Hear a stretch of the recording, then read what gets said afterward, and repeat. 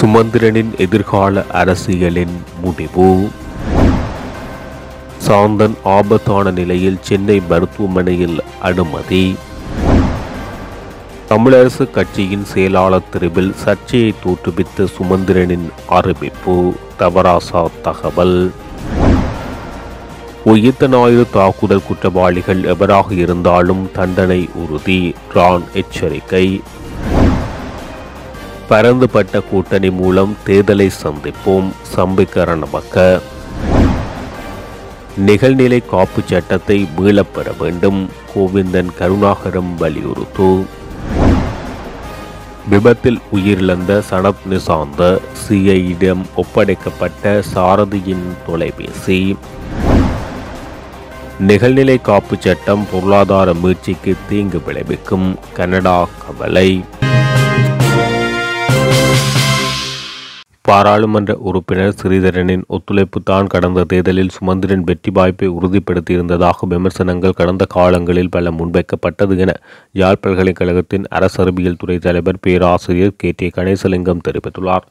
சுமந்திரனின் எதிர்கால அரசியல் தொடர்பில் நடந்து முடிந்த தேர்தலின் மூலம் ஓரளவு அனுமானிக்கக்கூடியதாக இருக்கும் என அவர் சுட்டிக்காட்டியுள்ளார். இந்திய பிரதமர் ராஜீவ் காந்தி கொலை வழக்கில் பொது மன்னிப்பின் கீழ் விடுதலை செய்யப்பட்ட சாந்தனின் உடல்நிலை கடுமையாக பாதிக்கப்பட்டுள்ளதாக தெரிவிக்கப்பட்டுள்ளது. அவர் உயிருக்கு ஆபத்தான நிலையில் நேற்று சென்னை வைத்தியசாலையில் அனுமதிக்கப்பட்டுள்ளதாக இந்திய ஊடகங்கள் தெரிவித்துள்ளன. ராஜீவ்காந்தி கொலை வழக்கில் பொது மன்னிப்பின் கீழ் விடுதலையாகி தற்போது திருச்சி சிறை முகாமில் தடுத்து வைக்கப்பட்டுள்ள நிலையில் அவரது உடல்நிலை கடுமையாக பாதிக்கப்பட்டுள்ளதாக தெரிவிக்கப்பட்டுள்ளது.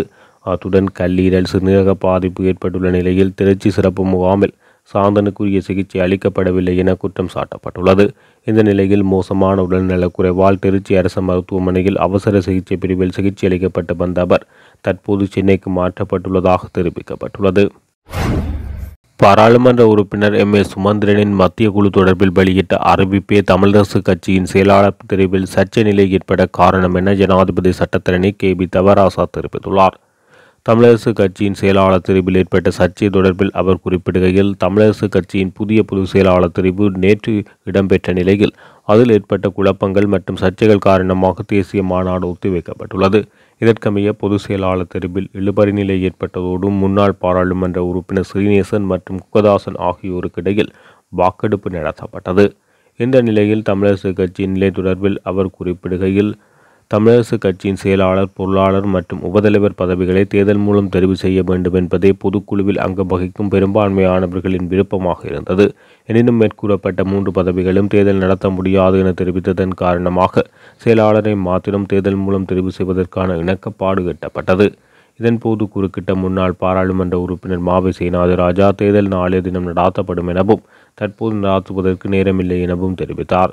இதில் முக்கிய விடயம் என்னவெனில் மாவை சேனாதிராஜாவின் கருத்தை கேட்டவுடன் முன்னூற்று நாற்பது பேரில் நூற்று நாற்பது பேருக்கும் அதிகமானோர் வெளியேறிவிட்டதாக அவர் தெரிவித்துள்ளார். இதன்போது உள்நுழைந்த பாராளுமன்ற உறுப்பினர் சுமந்திரன் மத்திய குழுவின் கருத்தை ஆதரிப்பவர்கள் மாத்திரம் கையை உயர்த்துங்கள் என்ற கருத்தை முன்வைத்தார். இந்த நிலையில் சுமந்திரனின் கருத்துக்கு நங்க நூற்றி பன்னிரண்டு பேர் கைகளை உயர்த்தினர். பின்னர் மத்திய குழுவின் கருத்துக்கு எதிராக நூற்று நான்கு பேர் கையை உயர்த்தியதாக சுமந்திரன் தெரிவித்தார். இதற்கமைய இறுதியாக மத்திய குழுவின் செயற்பாட்டை பொதுக்குழு ஆதரிக்கின்றது என அறிவித்து சென்றுவிட்டார். மேலும் குகதாசன் செயலாளர் எனவும் அறிவித்திருந்தார். இதன்போதே பொதுக்குழுவில் சர்ச்சை தொடர ஆரம்பமாகியது. பொதுக்குழுவில் பெரும்பான்மையான அங்கத்தவர்கள் கோஷங்களை எழுப்பி எதிர்ப்பை வெளியிட ஆரம்பித்தனர். மேலும் குறித்த தெரிவை ஏற்றுக்கொள்ள முடியாது எனவும் ரகசிய வாக்கெடுப்பு நடத்த வேண்டும் எனவும் கருத்துக்கள் முன்வைக்கப்பட்டதாக தெரிவித்துள்ளார். உயிர்த்த ஞாயிறு தாக்குதல் சம்பவத்துடன் தொடர்புடைய நபர்கள் எவராக இருந்தாலும் தராதரம் பார்க்காது தண்டிக்க நடவடிக்கை எடுக்கப்படும் என அமைச்சர் ட்ரானலஸ் உறுதியளித்துள்ளார். கலனி போலீஸ் பிரிவுக்குட்பட்ட சமூக போலீஸ் குழு பிரதிநிதிகளுக்கு தெளிவூட்டும் நிகழ்ச்சி ஒன்றில் கலந்து கொண்டு கருத்து தெரிவிக்கும் போது அவர் இதனை தெரிவித்துள்ளார். உயிர்த்த ஞாயிறு தாக்குதல் தொடர்பில் மேற்கொள்ளப்படும் விசாரணைகள் குறித்து என் மீதும் விமர்சனங்கள் முன்வைக்கப்படுகின்றது. ஆனால் குறித்த சம்பவத்துடன் தொடர்புடைய நபர்கள் யாராக இருந்தாலும் எவ்வளவு அதிகாரம் வாய்ந்தவர்களாக இருந்தாலும் அவர்களின் தராதரம் பார்க்காது தண்டனை பெற்றுக் கொடுப்பதற்கு நான் கண்டிப்பாக நடவடிக்கை எடுப்பேன். இந்த நிலையில் கத்தோலிக்க திருச்சபைக்கு நான் உறுதியளிக்கின்றேன் அத்துடன் உண்மை குற்றவாளிகள் கண்டுபிடிக்கப்படவில்லை என்று குற்றம் சாட்டும் கத்தினால் ஆண்டகை அவர்கள் இந்த விசாரணையிலும் உடன் இணைந்து செயற்பட முன்வர வேண்டும் என அழைப்பு விடுப்பதாக தெரிவித்துள்ளார். எதிர்வரும் தேர்தல்களை பரந்துபட்ட கூட்டணி ஒன்றின் ஊடாக சந்திக்க உள்ளதாக பாராளுமன்ற உறுப்பினர் சம்பிக ரணபக்க தெரிவித்துள்ளார். பிறந்த பிரதேசத்தில் நேற்று இடம்பெற்ற மக்கள் சந்திப்பில் அவர் இதனை தெரிவித்துள்ளார். நாட்டை கட்டியெழுப்புவதற்கு நடைமுறை வேலை திட்டம் ஒன்று அவசியம். அதற்காக எதிர்காலத்தில் பரந்த அரசியல் கூட்டணியை உருவாக்குவதற்கு அர்ப்பணிப்புடன் செயற்படுவோம். எங்களது கூட்டணி மூலமாக நாட்டை கட்டியெழுப்புவதற்கான பொருத்தமான செயற்திட்டங்களை வகுத்து கொள்ள உத்தேசித்துள்ளோம். அதனை பொதுமக்கள் முன் சமர்ப்பித்து அதற்கான மக்கள் ஆணையை தேர்தல்களில் பெற்றுக்கொள்ள தீர்மானித்துள்ளோம். எங்கள் கூட்டணி சார்பில் ஜனாதிபதி வேட்பாளராக யார் களமிறங்குவார் என்று இன்னும் முடிவு செய்யப்படவில்லை. எதிர்காலத்தில் அது குறித்து நிச்சயம் ஆரம்பிப்போம் என தெரிவித்துள்ளார். பயங்கரவாத எதிர்ப்பு சட்டம் மற்றும் ஊடகங்களை அடக்கும் நிகழ்நிலை காப்பு சட்டம் என்பனவற்றை மீளப்பெற வேண்டும் என பாராளுமன்ற உறுப்பினர் கோவிந்தன் கருணாகரம் தெரிவித்துள்ளார். ஆயிரத்தி தொள்ளாயிரத்தி எழுபத்தி ஒன்பதாம் ஆண்டு தமிழர்களுக்கு எதிராக ஆறு மாதத்துக்கு தற்காலிகமாக கொண்டுவரப்பட்ட பயங்கரவாத சட்டம் இன்று வரை தொடர்ச்சியாக இருக்கின்றது. இந்த நிலையில் ஊடகங்களையும் மக்களின் கருத்து சுதந்திரத்தையும் அடக்குவதாக இந்த நிகழ்நிலை காப்பு சட்டம் பாராளுமன்றத்தில் நிறைவேற்றப்பட்டுள்ளது. இந்த சட்டத்துக்கு வடகிழக்கு சேர்ந்த தமிழ் பாராளுமன்ற உறுப்பினர்கள் கூட கை உயர்த்தி ஆதரவு கொடுத்திருக்கிறார்கள். தமிழ் மக்களுக்காகத்தான் இந்த சட்டங்கள் கொண்டுவரப்படுகின்றதோ என்ற சந்தேகங்கள் எழுகின்றது. ஏனென்றால் நில அபகரிப்பு காணாமல் போனவர்களை கண்டுபிடிப்பதற்கான ஆர்ப்பாட்டங்கள் எல்லாம் வடக்கு கிழக்கில் கூடுதலாக இடம்பெறுகின்றது. இரண்டாயிரத்தி ஒன்பது யுத்தம் மௌனிக்கப்பட்டதற்கு பின்னர் ஒரு மௌன யுத்தம் வடக்கு கிழக்கை பௌத்தமயமாக்குவது காணி அபகரிப்பதற்கு பெரும்பான்மையான மக்களை குடியேற்றி எமது இனப்பரம்பலை குறைப்பதுமாக அரசும் அரசு அதிகாரிகளும் புத்த பீக்குகளும் கூட இந்த நிகழ்ச்சி நிலையில் உள்வாங்கப்பட்டு நடந்து கொண்டிருக்கின்றது. இப்படியான காலகட்டங்களில் வடக்கு கிழக்கில் மக்கள் கிளந்து எழக்கூடாது என்பதற்காக இந்த சட்டம் கொண்டு வரப்படுகின்றது அதற்கு மேலாக இந்த நாட்டின் அறகலைய போராட்டம் என்ற போராட்டங்கள் கூட இனி ஏற்படக்கூடாது எனவும் அரசுக்கு எதிராக மக்கள் கருத்து கூறக்கூடாது என அரசு நினைக்கின்றது. ஒன்றை மட்டும் இந்த அரசு உணர்ந்து கொள்ள வேண்டும். இன்று இருக்கும் அரசு நாளை மாறலாம். நாளை மாறும்போது தனக்கு சாதகமாக தற்போது இருக்கும் அரசாங்கத்துவம் பெறுபவர்கள் கூட இந்த சட்டத்தினால் பாதிக்கப்படலாம்.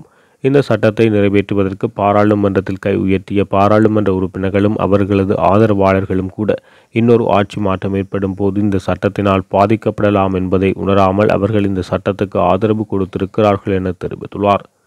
இரண்டாயிரத்து ஒன்பது தன்னுடைய குடும்ப உறுப்பினர்களை இராணுவத்திடம் ஒப்படைத்த உறவினர்கள் கூட இன்னும் இங்கு இருக்கிறார்கள் என்று தெரியாமல் மக்கள் தவிர்த்து கொண்டிருக்கிறார்கள். அவர்களுக்கான நீதியை கேட்டுக்கொண்டிருக்கிறார்கள். இந்த நீதியை கூட கொடுக்காத அரசு இப்படியானவர்களுக்கு நீதி கொடுக்குமா என்பது சந்தேகம். இருந்தாலும் இன்னும் ஒரு கருத்தும் உள்ளது. ஊடகங்களை ஒழுங்குபடுத்தக்கூடிய தேவை உள்ளது. தற்பொழுது ஊடகங்களுக்கு அப்பால் சமூக வலைத்தளங்கள் ஊடாக சில பாதிப்புகள் மக்களுக்கு இடம்பெறுகின்றது. குறிப்பாக சில தற்கொலை செய்வதற்கும் இந்த முகநூல் மூலமாக போலி முகநூல் மூலமாக சில பிரச்சாரங்கள் செய்யப்படுவதால் அதனை கட்டுப்படுத்த வேண்டிய தேவை அரசாங்கத்துக்கு இருக்கின்றது. இருந்தபோதும் அதை விடுத்து ஊடகங்களை அடக்கி தனக்கு எதிரான கருத்துக்களை யாருமே கூறக்கூடாது என்ற ஒரு நிலையில்தான் இந்த நிகழ்நிலை காப்புச் சட்டம் வருகின்றது என்பதை நாங்கள் எல்லோரும் நன்றாக உணர்ந்து கொண்டிருக்கின்றோம். இதனை அரசாங்கம் மீளப்பெற என தெரிவித்துள்ளார். விபத்தில் உயிரிழந்த ராஜாங்க அமைச்சர் சனத் நிசாந்தவின் சாரதியின் கையடக்க தொலைபேசி குற்றப்புலனாய்வு திணைக்களத்தினரிடம் ஒப்படைக்கப்பட்டுள்ளது. கட்டுநாயக அதிவேக நெடுஞ்சாலையில் நேற்று முன்தினம் இடம்பெற்ற வாகன விபத்தில் ராஜாங்க அமைச்சர் சனத் நிசாந்த மற்றும் அவரது பாதுகாவலரான போலீஸ் உத்தியோகத்தர் அனுராதா ஜெயக்குடி ஆகியோர் உயிரிழந்தனர். விபத்தின் பின்னர் சந்தேக நபரான சாரதியின் கையடக்க தொலைபேசி கந்தானை காவல்துறையினரால் பறிமுதல் செய்யப்பட்டது. அத்தோடு குறித்த கையடக்க தொலைபேசி மேலதிக விசாரணைகளுக்காக குற்றப்புலனாய்வு திணைக்களத்தினரிடம் ஒப்படைக்கப்பட்டுள்ளதாக போலீஸ் வட்டாரங்கள் தெரிவித்துள்ளன. அத்துடன் விபத்தில் படுகாயமடைந்த ராஜாங்க அமைச்சர் சனத் நிசாந்தவின் சாரதியான இருபத்தெட்டு வயதான பிரபாத் எரங்க போலீசாரின் காவலில் ராகும வைத்தியசாலையில் சிகிச்சை பெற்று வரும் நிலையில் அவருக்கு விளக்கமறியல் உத்தரவு பிறப்பிக்கப்பட்டுள்ளமை குறிப்பிடத்தக்கது. இலங்கையின் நிகழ்நிலை காப்புச் சட்டம் பொருளாதார முயற்சிக்கு தீங்கு விளைவிக்கும் என கனடா கவலை வெளியிட்டுள்ளது. இலங்கை மற்றும் மாலத்தீவுக்கான கனடிய உயர்ஸ்தானிகர் எரிக் போல்ஸ் தனது உத்தியோகபூர்வ டுவிட்டர் பக்கத்தில் இதனை தெரிவித்துள்ளார். இலங்கையின் நிகழ்நிலை காப்புச் சட்டம் பொருளாதார முயற்சிக்கு தீங்கு விளைவிக்கும் எனவும் ஜனநாயக சமூகத்தில் எதிர்பார்க்கப்படும் நியாயமான உரையாடலை கட்டுப்படுத்தும் சாத்தியம் உள்ளது எனவும் கவலையை நாங்கள் பகிர்ந்து கொள்கின்றோம். இதை தவிர்க்க நிகழ்நிலையில் தீங்கு விளைவிக்கும் உள்ளடக்கத்தை எதிர்கொள்ள எடுக்கப்படும் எந்தவொரு நடவடிக்கையும் கருத்து சுதந்திரம் உட்பட அடிப்படை உரிமைகளை பாதுகாப்பதை உறுதிப்படுத்த வேண்டுமென தெரிவிக்கப்பட்டுள்ளது. இலங்கை மீனவர்கள் ஆறு பேர் கொண்ட நீண்ட நாள் மீன்பிடி படகொன்று சோமாலிய கடற்கொள்ளியர்களால் கடத்தப்பட்டுள்ளதாக இலங்கை கடற்படை தெரிவித்துள்ளது.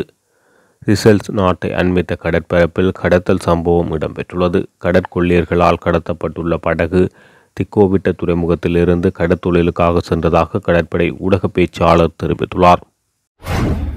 ஜனவரி இருபத்தொன்பதாம் தேதி ஆரம்பிக்கப்படவிருந்த சுதந்திர தின கொண்டாட்டத்தின் ஒத்திகையை ஜனவரி முப்பதாம் தேதி முதல் ஆரம்பிக்க முடிவு செய்யப்பட்டுள்ளதாக போலீஸ் ஊடகப் பிரிவு தெரிவித்துள்ளது. ஜனவரி முப்பதாம் தேதி முதல் பிப்ரவரி மூன்றாம் தேதி வரை காலிமுகத்திடர் வளாகத்தில் ஒத்திகை நடைபெறும் என அறிவிப்பில் தெரிவிக்கப்பட்டுள்ளது. முன்னதாக ஒத்திகை நடவடிக்கை ஜனவரி இருபத்தொன்பது முதல் ஆரம்பிக்கப்படும் என தெரிவிக்கப்பட்டிருந்தமை குறிப்பிடத்தக்கது.